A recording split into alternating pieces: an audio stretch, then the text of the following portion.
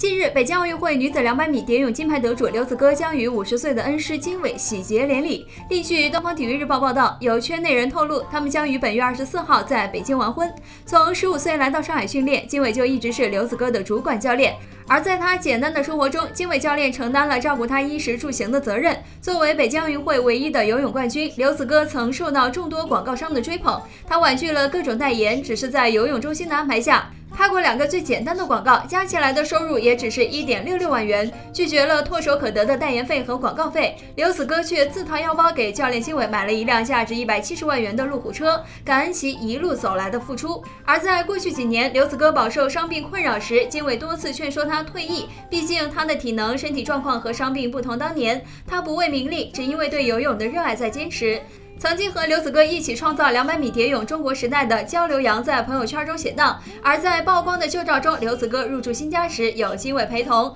而刘子歌也曾和恩师一起走红毯，两人十分登对。”